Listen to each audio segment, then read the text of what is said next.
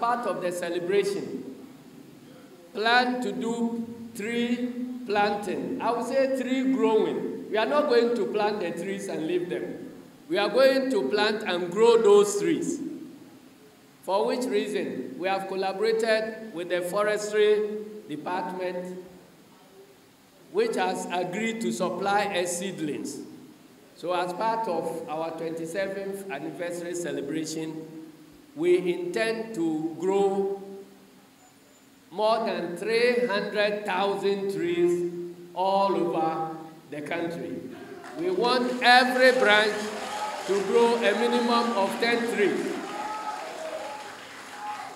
The reason is that records show that in the recent past, within the last couple of years, the devastation of our forests has risen to unprecedented levels.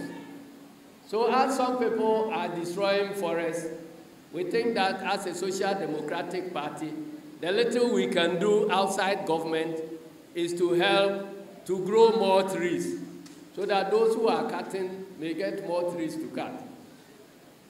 Apart from that, so that tree planting will happen uh, uh, Saturday.